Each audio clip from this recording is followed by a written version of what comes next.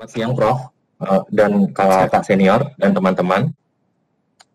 Mohon izin, uh, saya Janal Dana dari uh, Prodi Berafase yang sastra berdasar ingin uh, mempresentasikan tentang encephaloceal reconstruction atau rekonstruksi encephalocal.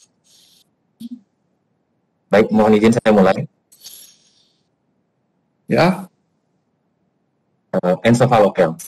Jadi encephalocal itu adalah herniasi daripada uh, isi otak uh, yang menonjol keluar daripada kranium.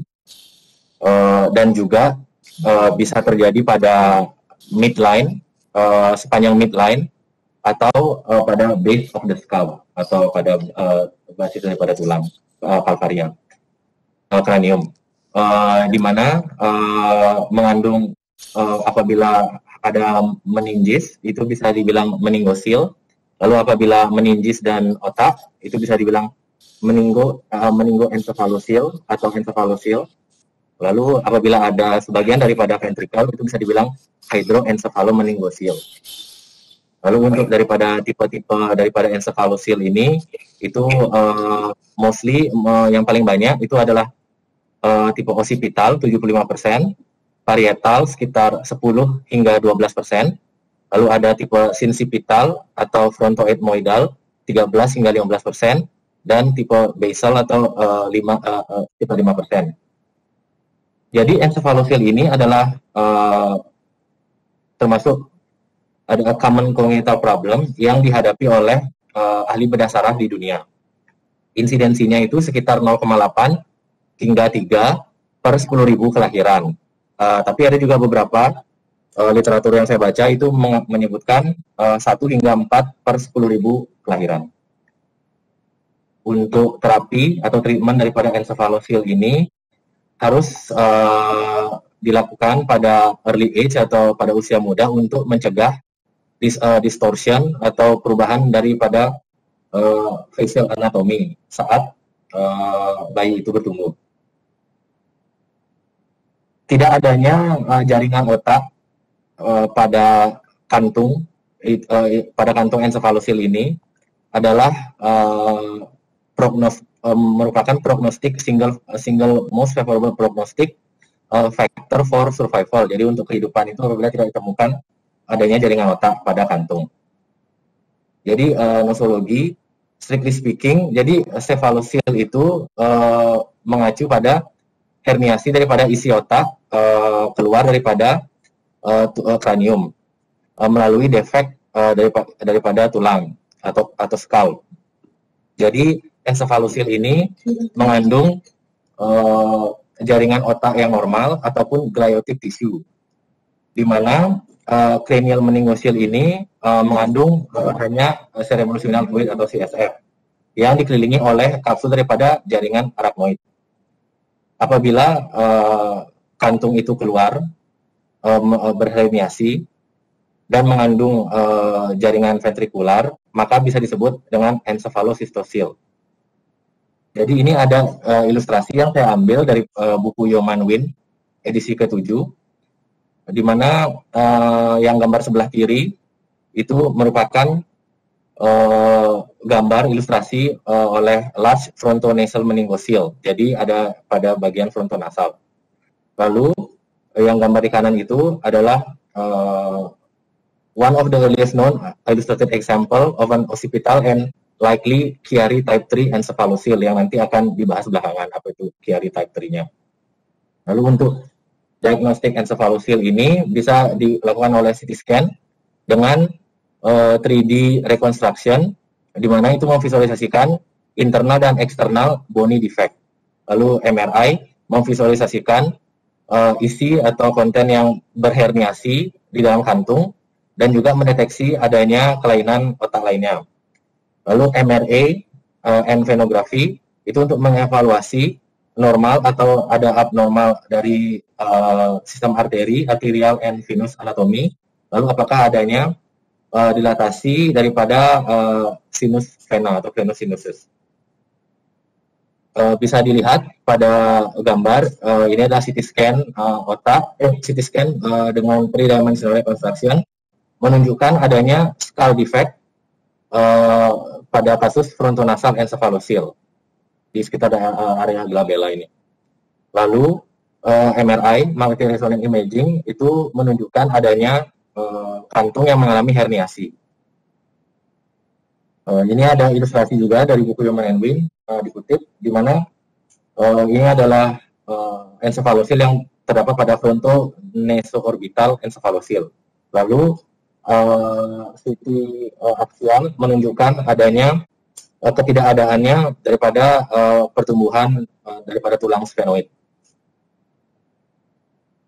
Lalu ini juga ada contoh uh, coronal magnetic uh, coronal MRI di mana uh, uh, cribriform fluid-nya itu uh, di tidak ada pada uh, sebelah kiri tapi intak pada sebelah kanan. Dan ini uh, contoh ada pada uh, seorang remaja uh, yang di mana uh, terdapat pada midline frontonasal encephalosil dengan herniasi tru, uh, melalui uh, nation defect otak otaknya mengalami herniasi.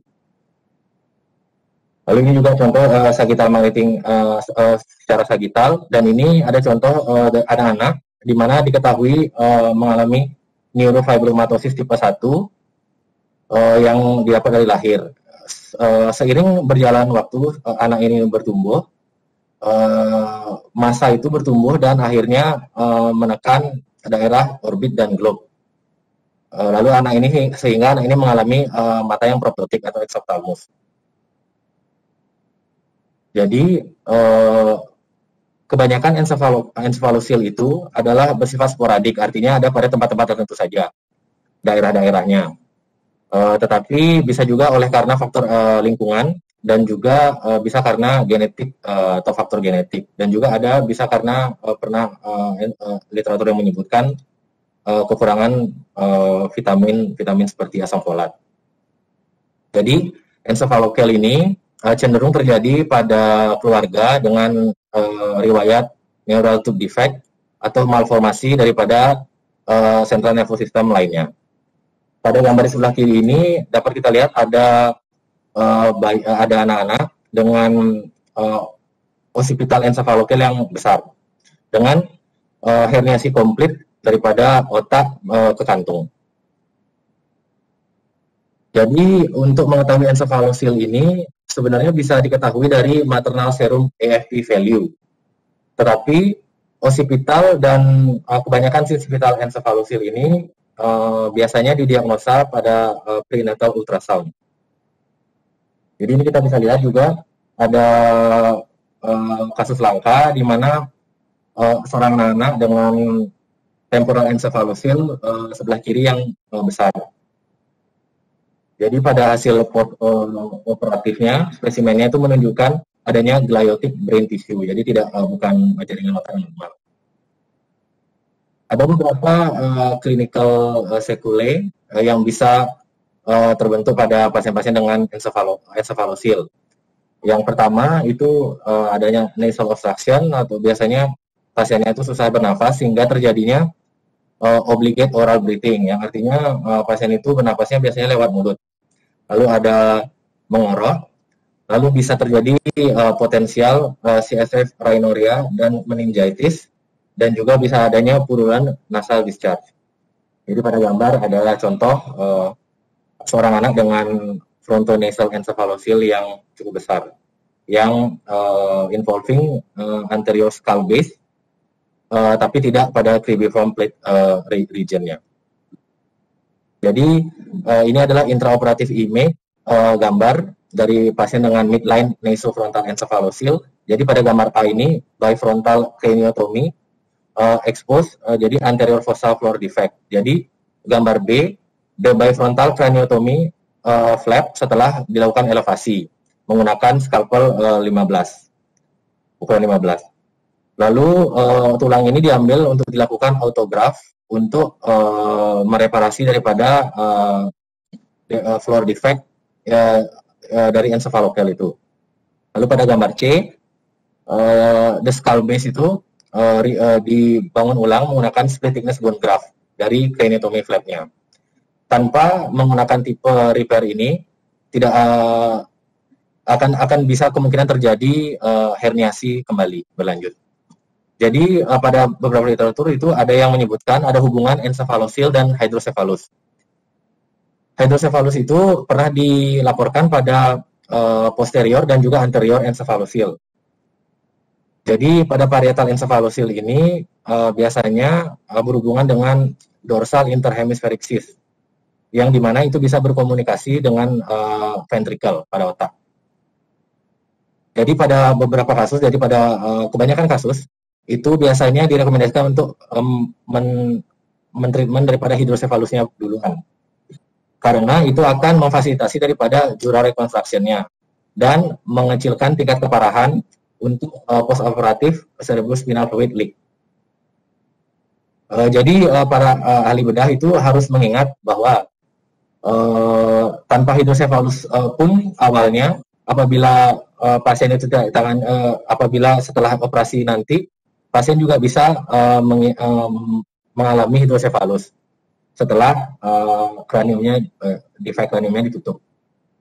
Jadi ada beberapa contoh yang sebelah kiri itu uh, ada prematur bayi prematur dengan large frontonasal encephalosil. Lalu uh, pada gambar selanjutnya juga pada bagian occipital.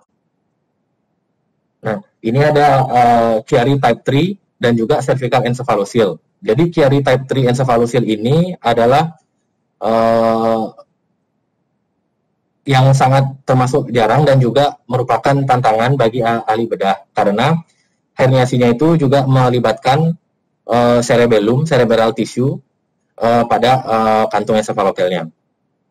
Lalu ada low occipital and cervical encephalosil yang ini uh, gambar uh, 1878 uh, dan juga uh, MRI ini sangat berguna uh, untuk mengevaluasi adanya uh, brainstem atau cervical spinal cord uh, herniation uh, into the sac atau uh, di ke dalam kantongnya itu.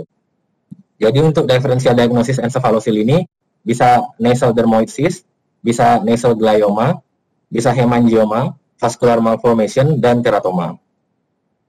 Untuk manajemennya itu uh, di, butuh tim multidisiplinari oleh uh, dokter bedah saraf, neuroanestesis, pediatrik, oral and maxillofacial surgeon atau OMFS, dan dokter bedah plastik yang bekerja secara uh, berkesinambungan. Jadi uh, harus diperbaiki pada bulan-bulan uh, awal untuk uh, mencegah adanya facial distortion. Lalu uh, surgery indication-nya uh, itu adalah encephalokel adalah merupakan indikasi untuk surgical repair semua encephalokel. Dan dilakukan uh, repair yang segera atau immediate repair itu apabila terdapat exposure uh, oleh meningan atau otak lalu adanya encephalosil uh, kantong encephalosil yang ruptur, lalu adanya keluar daripada cairan CSF. Untuk meminimal uh, untuk meminimalisir kenapa harus segera dilakukan? Karena untuk meminimalisirkan uh, resiko daripada CNS infection. Apabila uh, skin, uh, apabila kulit yang uh, overlying encephalokel itu intact, maka dilakukan operasi secara elektif, tidak perlu uh, untuk kontraindikasinya itu ada lethal meningitis. Apabila tidak ditangani, uh, maka uh, bisa menyebabkan uh, keparahan seperti uh, severe encephalosil atau uh, center, uh, atau CNS abnormality lainnya. Apabila itu terjadi, dilakukan korektif atau paliatif uh, pembedahan.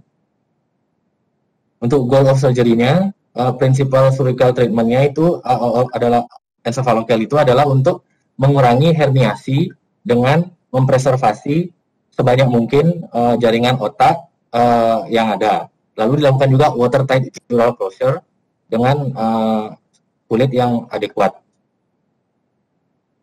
Lalu uh, dengan anterior encephalokel secara umumnya uh, tujuan adalah menghilangkan lesi uh, daripada encephalokel itu sebelum nantinya akan mengganggu pertumbuhan wajah.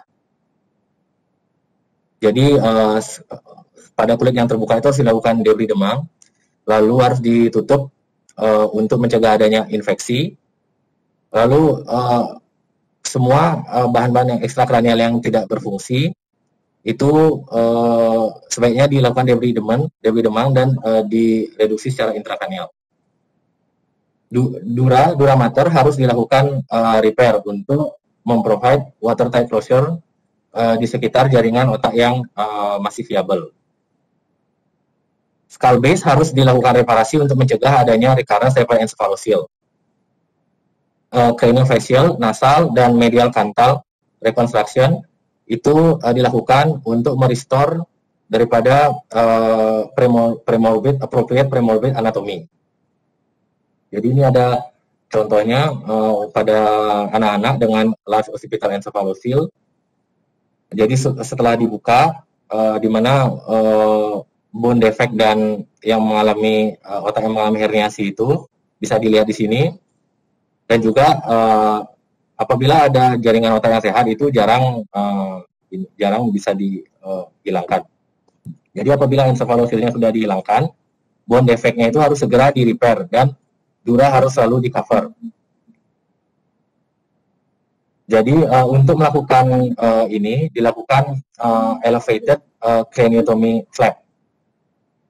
Jadi split bone graft itu uh, bisa dilakukan hingga full thickness bone graft. Jadi ini uh, apabila setelah melakukan uh, repair defect itu, uh, bone defectnya itu diletakkan uh, yang normal itu di antara dura dan perikranium. Uh, karena uh, keduanya itu bersifat osteogenik, jadi uh, pada kebanyakan kasus itu akan mengisi uh, defek yang uh, kosong uh, seiring berjalan waktu. Jadi ini ada surgical management of frontoethmoid encephalocele reconstruction di mana ini uh, yang uh, termasuk jarang terjadi uh, akan dibahas lebih detail. Jadi untuk surgical positioningnya, uh, pasien dengan posisi supine uh, menggunakan Mayfield headrest untuk uh, memfiksasi atau secure the cranium.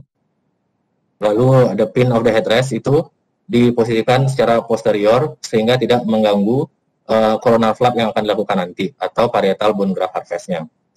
Lalu endotracheal tube itu uh, difiksasi menggunakan circummandibular 28 gauge dental wire. Lalu uh, transcranial portion itu dilakukan coronal incision.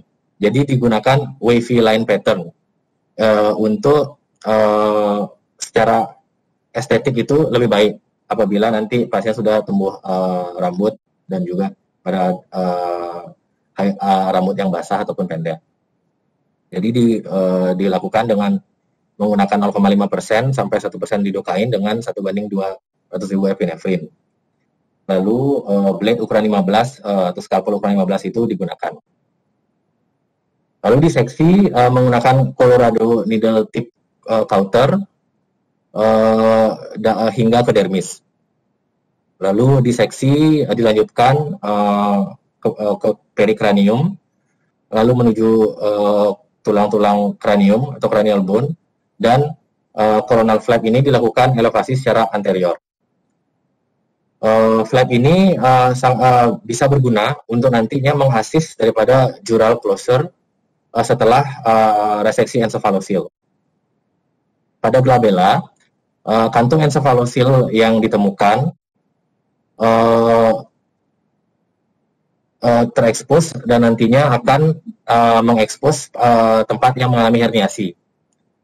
Harus hati-hati karena uh, dura uh, mengalami malformasi dan uh, sangat fragil uh, di, uh, yang uh, mengoverlying daripada kantungan encephalocele itu.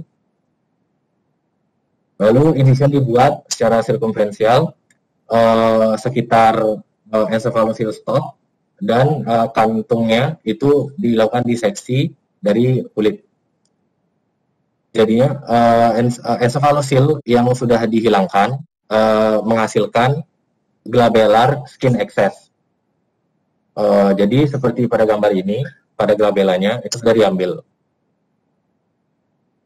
Lalu uh, frontal craniotomy itu Marshak template itu digunakan. Jadi Marshak template ini adalah yang berbentuk seperti setengah lingkaran ini uh, untuk uh, mengkoreksi daripada location uh, neofrontal bone craniotominya.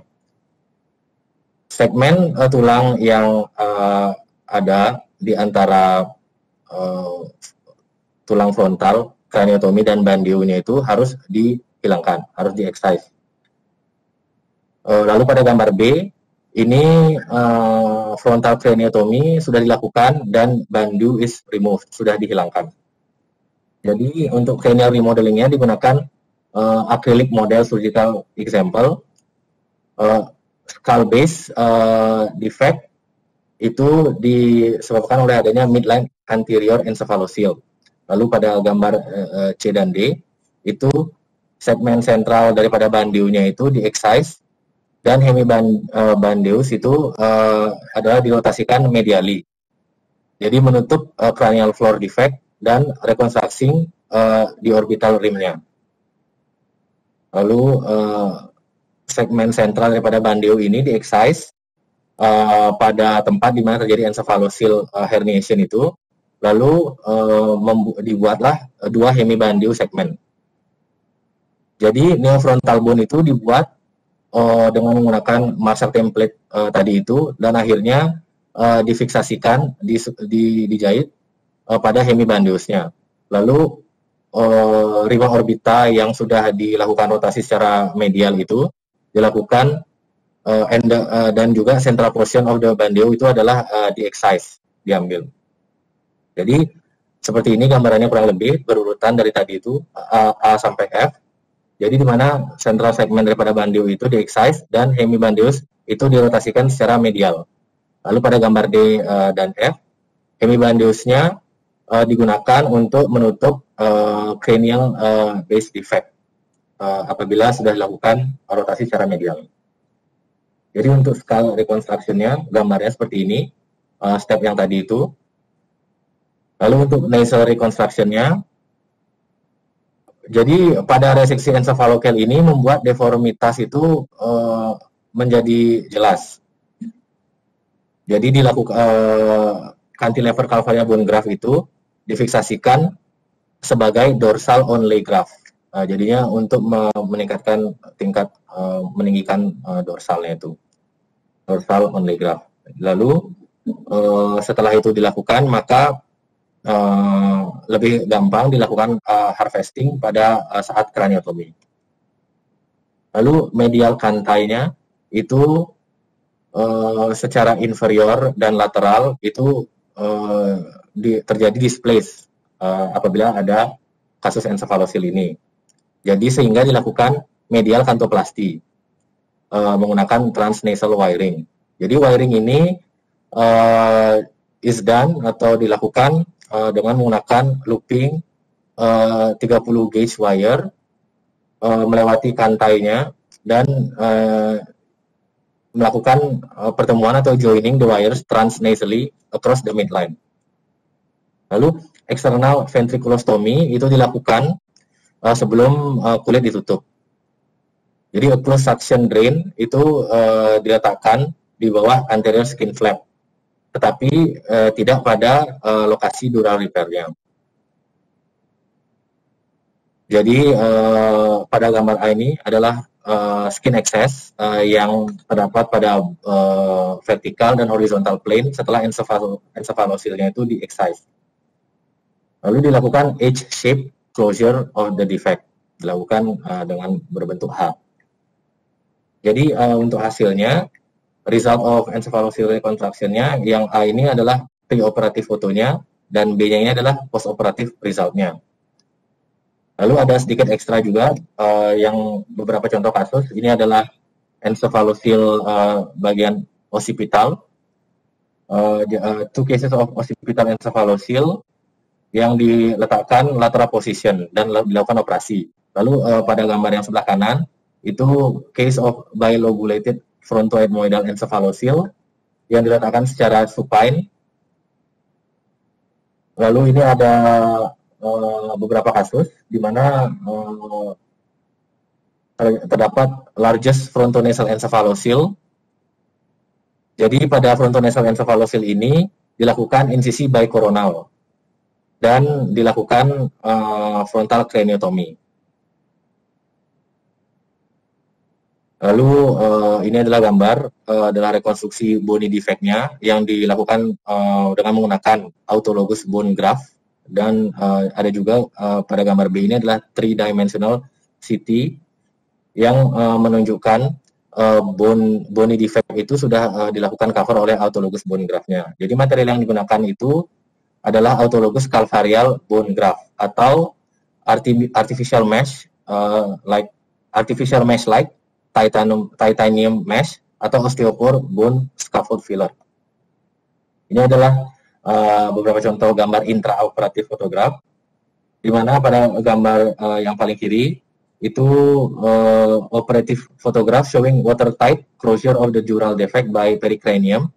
Lalu pada gambar di tengah itu ada intraoperative photograph showing reconstruction of the skull defect by titanium mesh. Lalu pada uh, gambar yang kanan itu ada intraoperative photograph showing reconstruction of the skull defect by osteopore bone scaffold filler. Jadi ini adalah pada kasus yang selain sebelumnya itu ada tiga uh, bayi itu. Ini adalah hasil follow up-nya. Jadi uh, setelah uh, dilakukan follow up, uh, diambil tiga bulan setelah surgery. Jadi pada gambar uh, B dapat ditemukan anak-anak uh, uh, pada gambar A, maaf, itu pada frontonasal encephalosil, ini adalah hasil follow up-nya. Lalu pada gambar B, itu adalah anak-anak dengan frontoetmoidal encephalosil uh, yang diambil juga setelah tiga bulan uh, post-op. Lalu yang gambar C, ini adalah follow up daripada anak-anak dengan occipital encephalosil yang diambil juga tiga bulan setelah post-op.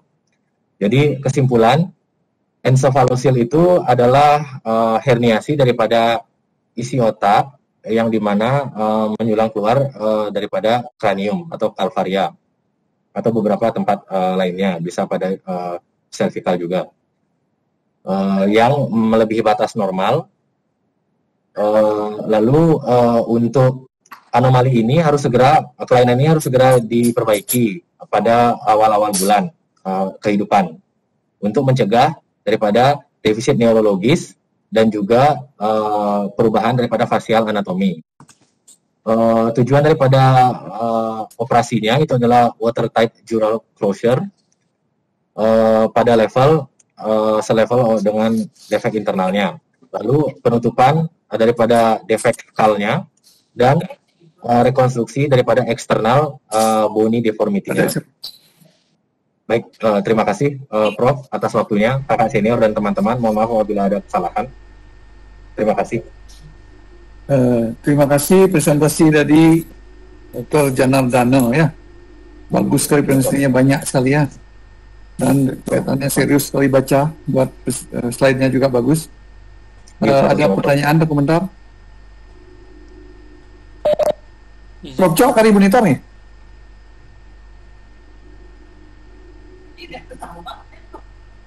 Ya, ya. ya, ada pertanyaan? Izin, Prof. Dengan Diki, Prof. Bisa, bisa. Izin, Prof. Bisa, Ya. Dengan Diki mau menanyakan, Prof. Ya. Oh, ya, sebelumnya terima kasih pada Dr. Janar untuk presentasinya. Uh, tadi di awal sempat disinggung sedikit tentang encephalosil pada basal uh, mungkin saya masih kurang paham mau menanyakan bagaimana cara kita mendiagnosis encephalosil pada basal uh, dan untuk terapinya bagaimana nih mohon masukannya. Terima kasih dokter Diki jadi bisa kita lihat pada uh, slide ini ini adalah untuk mendiagnosis uh, encephalosil pada basal itu. Uh, itu bisa dilakukan dengan uh, tiga cara untuk diagnostiknya di mana bisa dilakukan CT scan untuk uh, three, three dimensional rekonstruksinya. Uh, lalu bisa CT scan ini juga bisa memvisualisasi daripada uh, internal dan eksternal bony defect-nya. Lalu bisa dilakukan juga MRI untuk memvisualisasikan adanya uh, isi otak yang mengalami herniasi ataupun kantungnya dan juga membantu uh, untuk mendeteksi adanya kelainan otak lainnya. Lalu untuk MRA dan venografi bisa dilakukan untuk mengevaluasi adanya uh, apakah ada normal atau ketidaknormalan uh, daripada arterial dan uh, venus anatominya. Lalu apabila adanya dilated venus, venus sinususnya. Lalu untuk pertanyaannya tadi, uh, yang kedua, bagaimana? Maaf, uh, Dr. Vicky.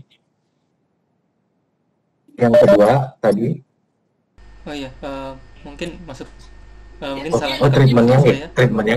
Uh, sebentar, sebentar. Sebelum sebelum dijawab sebentar. Uh, ini kan CT scan, MRI, MRI plus penografi. Dan pertanyaan yang yang mendasar adalah kapan kita curiga bahwa itu uh, meninggal basal sehingga kita perlu lakukan CT scan, MRI dan MRA. Dulu. Oh, gitu. Kapan kita curiga di basal ini?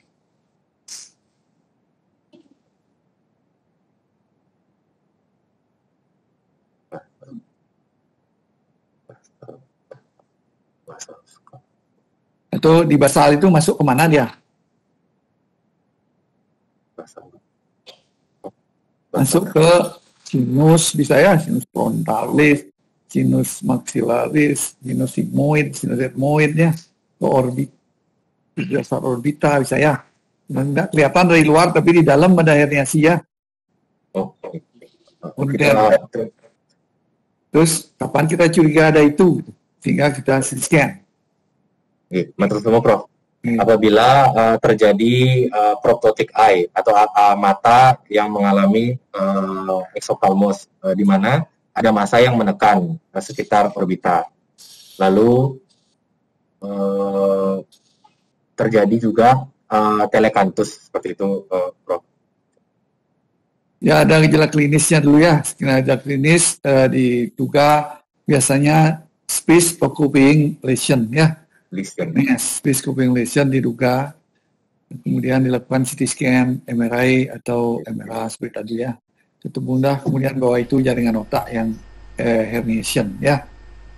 Itu ya. ya. Kemudian hmm. apalagi pertanyaannya itu kira-kira jawabannya? Apalagi pertanyaannya? terapinya treatmentnya. Treatment Uh, pertanyaan treatmentnya apa yang di, sudah dibaca oleh Janar? Dibantu semua, Prof. Mohon izin menjawab. Untuk uh, treatment, apabila terjadi basal itu yang uh, dicurigai adanya sol atau space occupying lesion uh, pada otak, eh pada uh, dalam kranium itu bisa dicurigai dilakukan uh, seperti ini pada gambar ini, uh, Dr. Diki dan Prof. Uh, treatmentnya adalah tetap uh, dilakukan uh, pengambilan daripada kantung herniasinya itu dengan mempreservasi sebanyak mungkin uh, jaringan otak yang normal karena ini akan mengganggu facial anatominya di mana itu dilakukan rekonstruksi. Kalau kalau di basal, kalau dia ada kelihatan dari luar kan masuknya misalnya ke sinus etmoid, sinus uh, sphenoid gitu masuknya uh, ininya. Kan tidak kelihatan dari luar. Gimana terapinya? Bisa ditutup transkranial ya, kraniotomi transkranial ditutup defeknya ya. Kemudian bisa juga ekstrakranial dengan endoskop bisa dimasukkan di, tambal dari luar ya. Itu bisa seksi dari luar. Itu gininya. Tergantung ukuran dan uh, kompleksitas daripada uh, ininya.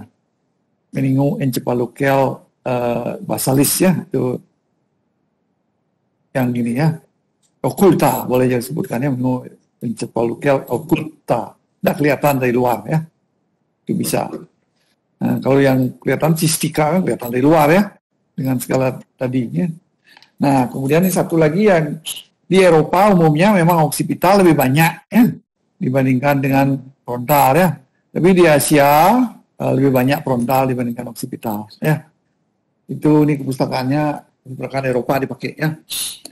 Nah, itu ada lagi yang yang perlu diketahui lebih umum adalah kapan diopera eh, kapan terjadi kelainan seperti ini pada umur hamil berapa?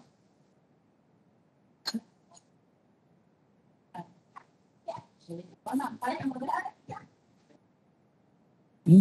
kelainan ini terjadi biasanya pada saat kandungan berapa bulan, berapa minggu. Seperti tadi misalnya kalau uh, itu kan 20 hari sekali ya, ada yang 4 minggu sampai 8 minggu lah ya. Ini berapa?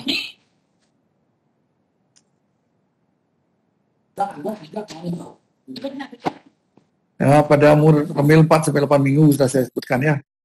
Itu ada yang itu. Yang terjadinya karena apa biasanya pada ibu hamil? Tuh, eh, ada macam-macam penyebabnya. Apa kira-kira? Mohon, mohon izin Prof, mungkin uh, apabila kekurangan vitamin uh, B9 atau B12 seperti asam folat. Selain itu, kekurangan asam folat paling banyak ya, harus diberikan pada ibu hamil pencegahannya. Selain itu bisa genetik, bisa macam-macam ya, bisa uh, obat-obatan semua bisa pada saat hamil muda ya. Kemudian uh, itu pencegahan, kemudian uh, diagnostik sudah dari terapinya sedini mungkin dilakukan rekonstruksi ya supaya misalnya kalau lambat makin besar makin banyak kerusakan ya kolateral damage makin banyak ya. Itu. Operasinya adalah menutup dura watertight tutup tulang ya. Kemudian kulit ya itu. Dan memperhatikan juga kemungkinan. Kalau misalnya ada meningoencephalocele dengan hidrocephalus silakan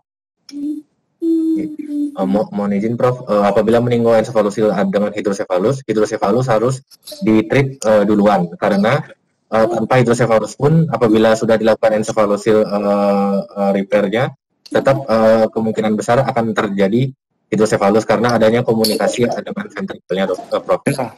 Sebenarnya misalnya setelah repair oksipital atau seperti ini misalnya, apa kemungkinan komplikasi cepatnya pada pos operasi?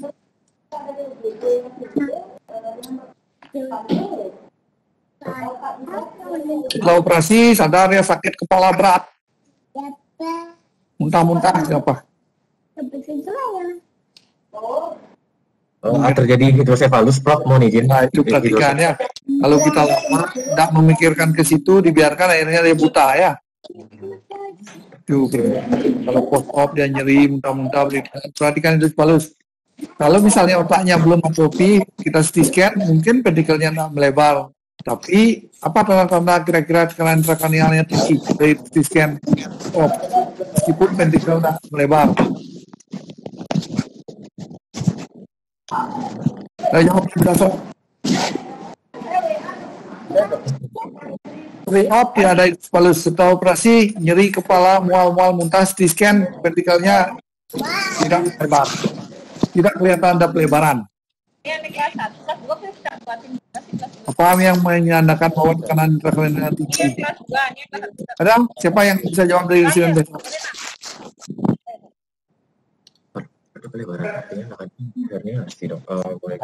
hilang pak. Uh, mohon izin Prof. Ya. Uh, untuk ubun-ubunnya yang tegang, ini Prof mohon maaf sebelumnya. Ubun uh, yang tegang. Kurang, kurang dari CT scan-nya maksudnya. Kalau bun-bun karena tegang, kita CT scan. Dari CT scan, kok pedikelnya tidak terlalu lebar. Tapi kita diagnosa hidrospalus, apa yang menyebabkan kita diagnosa hidrospalus juga dia? Oh, mohon izin, Prof. Bisa di Prof? Ya. Oh, periventricular. Apa? Apa apa apa? Udah dengar? Mohon izin, Prof. Oh, periventricular edema, Prof. Oh ya, ventricular edema sulcus kirusnya uh, menyempit atau menghilang ya itu yang paling penting kemudian Mickey Mouse ya kadang-kadang ada itu seperti itu atau bulat ventrikel tiganya bulat ya itu ya biasanya itu yang paling signifikan adalah periventricular rhythm ya meskipun begitu kalau dia nyeri kepala apalagi mual muntah bilang mata kabur dikit langsung pipisan ya.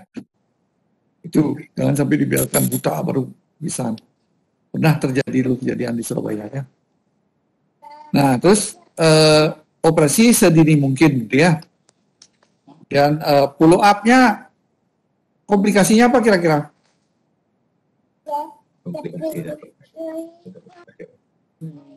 Ya, durasi operasi sudah kebocoran, infeksi ya, kerusakan sel otak dan sebagainya. Nah, kalau misalnya ada uh, spina bifida, eh apa, meninggal encephalical pecah, diapakan?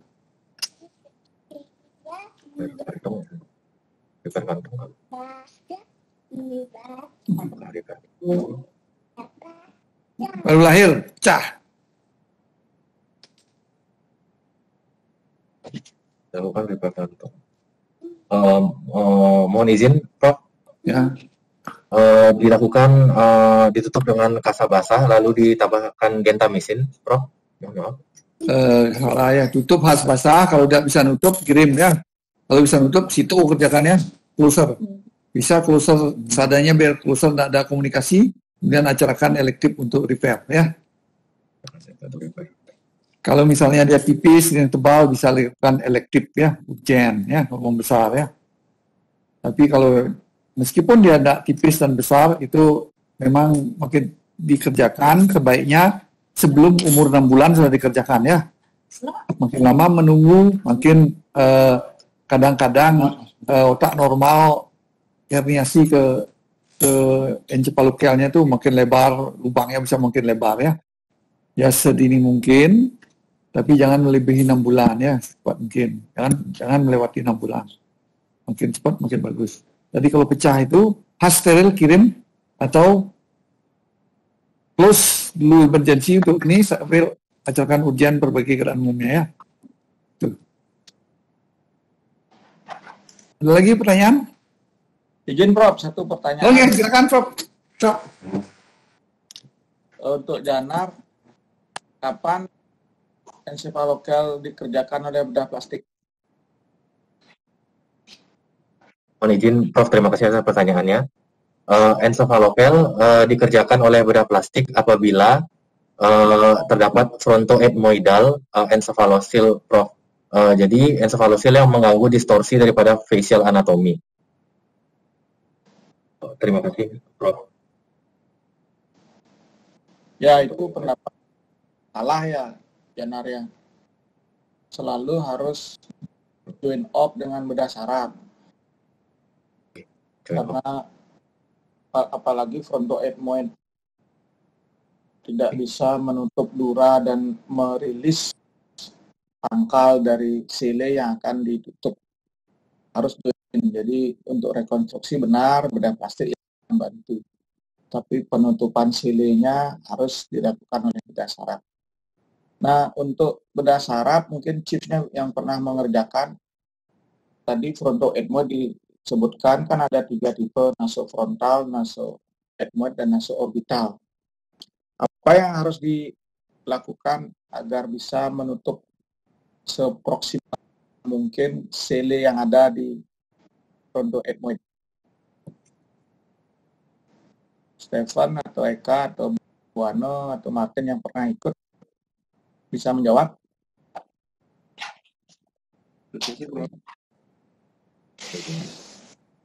Kak, silakan Kak. Kalau untuk yang di VME, VME itu ya kita harus karena pasti keluarnya dari foramen sekum. Silakan Kak. Kita, identifikasi, kita harus identifikasi foramen sekum terlebih dahulu, Bro. Karena defeknya pasti di sana. Ya, identifikasi sekum benar. Kemudian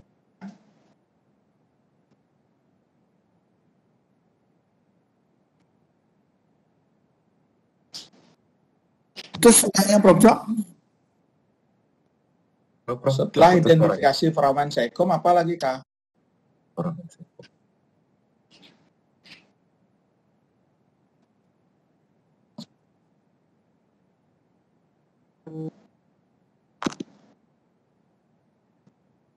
Halo, Bro. Halo?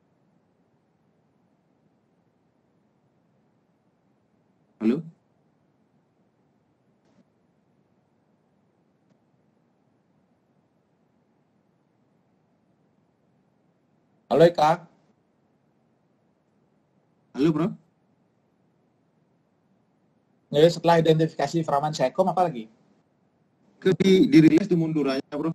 Dirilis dari dari Framan Sekom, dari Gali, kemudian setelah itu. Nah, Gali itu menembus dura. Jadi Eka harus memotong Gali. Kenapa harus dipotong Galinya?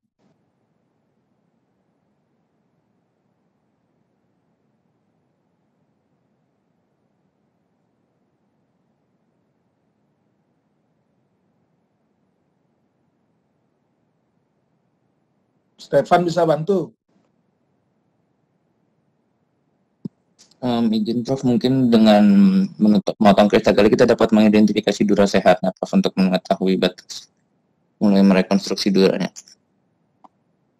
Ya, dengan gali dipotong, Stefan dan Eka bisa menempatkan jahitan pertama untuk watertight-nya ya. Kalau kristagali tidak dipotong, duranya akan tetap bocor.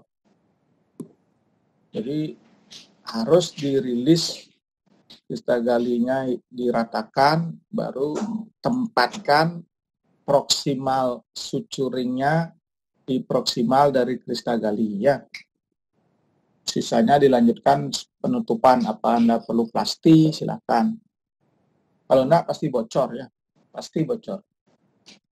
Eh, semua Prof. Prof. Eh, bagus. Eh, itu perlu diperhatikan ya. Ini Janar ini residen beda umum ya? Eh, izin Prof, beda plastik Prof. Oh ya, bagus.